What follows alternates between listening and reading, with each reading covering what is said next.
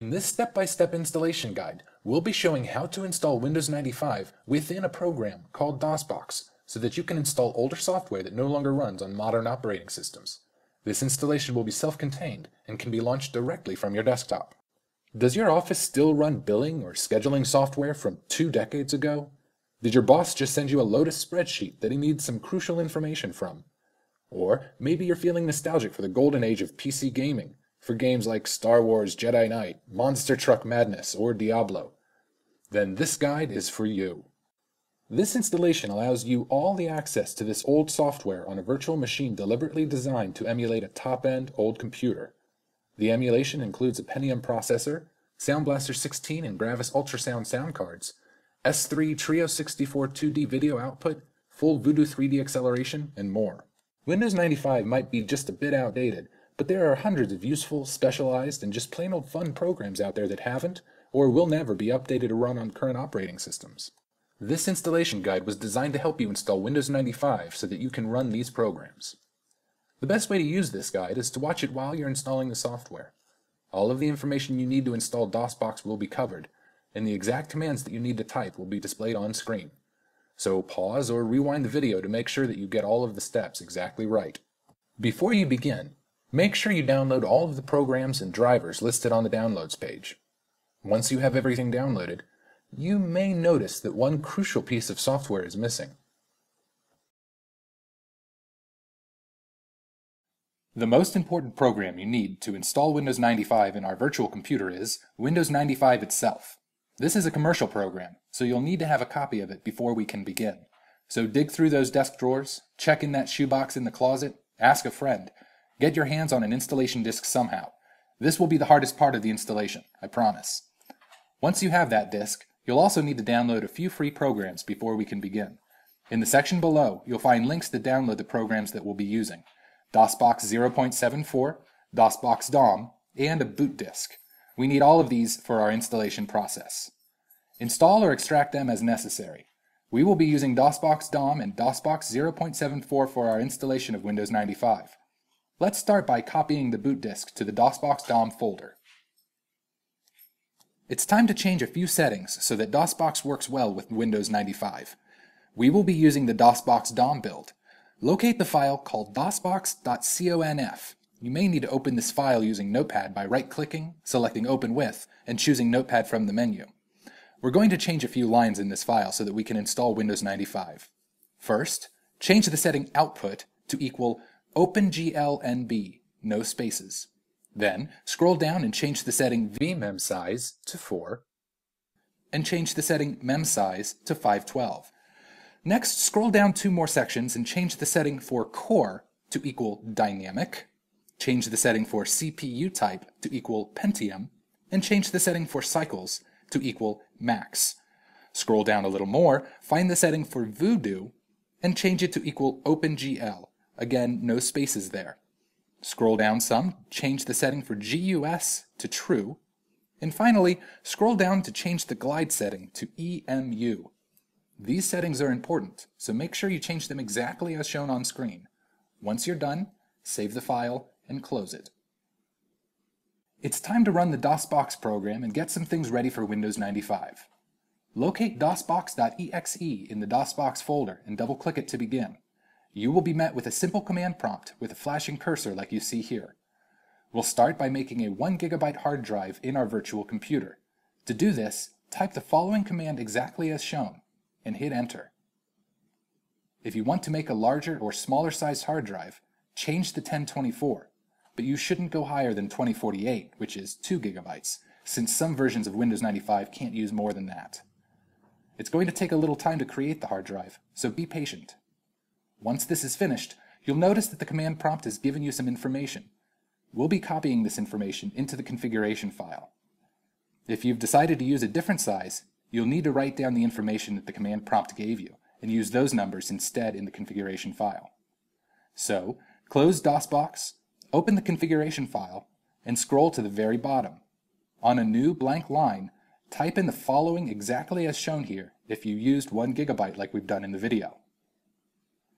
This is telling our virtual computer that there's a floppy disk in the virtual disk drive, and our hard drive that will have Windows 95 installation files. Okay, we're done with the configuration file now, so save it and close it. Now let's get back into DOSBox. We'll use the floppy disk that our virtual computer has in it to boot up what we need to start the Windows installation. Type the following into the command prompt, boot space hyphen L space A. It should tell you that it's starting MS-DOS. When it boots into MS-DOS, it may give you some error messages. That's okay. The important thing is that the drive letter should say A instead of Z. Now type FDISK, no spaces, and hit enter. The fdisk program will give you a few options. We want to select number 1 to create a DOS partition, so type 1 and hit enter. We want to create a primary DOS partition, so hit 1 again and enter. The program will ask if you want to use the maximum available size, and yes, you do. So type Y into the prompt and hit enter. You should now be prompted to restart your computer. If DOSBox doesn't automatically do this, simply close DOSBox and start it again to reboot the virtual computer. Once you've restarted, again type boot space hyphen L space A and hit enter. We're ready to format the C drive, so simply type format space C colon and hit enter. You will be given a warning that formatting the drive will lose all data. No problem. The drive we created a few minutes ago is empty anyway, so type Y and hit enter. Once the formatting is complete, you'll be prompted to name your drive. You can use whatever name you want. We're using Windows 95. Once this is done, close DOSBox. Your virtual computer is set up and ready to have Windows installed. Now, we need a way to pass files between the real physical computer and the virtual one we've just created. To do this, we're going to be using the Computer Management tool. On your desktop, right-click on Computer and choose Manage. In the column on the right-hand side of the window, right-click on Disk Management and select Attach VHD, which stands for Attach Virtual Hard Drive. You'll be asked to locate your virtual hard drive. If you've been following this guide closely, the file we want will be in the same folder as DOSBox Daum. Navigate to there, select windows95.img, and click Open. The virtual hard drive can now be accessed by your physical computer. You'll follow this process anytime you want to move data between your real computer and your virtual one. So we're now looking into the virtual hard drive we have created. You'll want to create a folder called Win95CD. Insert your Windows 95 disk into your computer and copy everything on it into this folder on your virtual hard drive. This will take some time, so be patient. When this is done, right-click on the icon for your virtual disk and click Detach VHD. This will safely detach it from the physical computer so it can be used by DOSBox again. Okay, we now have a virtual computer, we've set it up so that we can use Windows 95, and we've put the installation files into it. Now let's install Windows. Start DOSBox again, and again type boot space hyphen L space A. Now we want to view our C drive, so type C colon at the command prompt and hit enter. At this point, there should only be a folder containing the Windows 95 CD. Switch into the folder by typing cd space win95cd and hit enter. Once there, type setup.exe space slash nm space slash is and hit enter. Now follow the on-screen prompts as Windows installs. Leave the default installation option set to c colon slash Windows. In the setup options, we'll select Custom for our installation guide, but selecting Typical here would be fine too. When the installation asks for your certificate of authenticity, enter the code that came with your original installation disk. When prompted to let Setup analyze and detect your hardware, the best option is to simply allow it to do so by selecting Yes. On the next screen, we'll only be selecting the Sound and Video Card option. It's going to take some time for Windows to analyze the virtual computer, so be patient. This could take a few minutes to complete. Once this is done, and if you've chosen the custom installation, you'll be prompted to pick which programs you want to install. This is entirely up to you. You can pick all of the programs, none of the programs, or anything in between. Explore the menus and see what might be interesting. It won't affect our install. Click Next to continue through the installation steps. When prompted to create a startup disk, select No. We don't need one.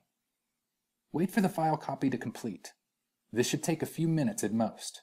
When it's done, click Continue when prompted. So far, so good. At this point, though, we would run into problems if we used DOSBox Daum in the next section. Don't worry, that's why we downloaded two versions of DOSBox before we began. Before that, though, we need to remove our virtual floppy disk from our virtual computer. Do that by removing the line that you had previously typed into the bottom of the configuration file. And add boot space hyphen L space C. Move your hard drive image from the DOSBox Daum folder into the DOSBox 0.74 folder. This move is only temporary. Since we're only using DOSBox 0.74 temporarily, we'll manually enter the command to continue the Windows installation. You'll only have to do this twice. Type the following into the command prompt. Remember, if you used a different size when you created the virtual hard drive, then you'll have to adjust this accordingly. Now boot into Windows Setup by typing boot space hyphen L space C. Now, a quick note here. You should notice that your mouse cursor is a big black square and that the screen isn't displaying quite right. Don't worry, we'll fix this shortly. Pick your time zone in the next screen and select OK. If you're prompted for printer setup, select Cancel. We won't be installing a printer. Once Windows is finished with this portion of the installation, it will reboot. Once DOSBox is running again, type in the same commands that you did before. This is the last time we'll be using DOSBox 0.74. Look at that. If you've followed this guide closely, you should now see the Welcome to Windows dialog. Now, you should notice immediately that the screen is displaying very poorly. That's okay. We are going to solve that problem now. Right-click on your desktop and click on Properties. Click on Settings and change the color palette setting to 16 colors. And make sure the desktop area setting is set to 640 by 480 pixels. Ah, much better. But we're still not quite done. So, click on the Start menu and click Shut Down and close DOSBox. We're now finished with DOSBox 0.74, We'll move the image file back into DOSBox Daum. To do that, move the hard drive image back over to the DOSBox Daum folder that you had previously moved it from. Double-click on DOSBox.exe to restart DOSBox. Windows 95 will detect new hardware. After this is finished, Windows is up and running. Congratulations! You are now running Windows 95 in a virtual computer. That's all there is to it. You can interact with Windows 95 on this virtual computer just like you would on a physical computer.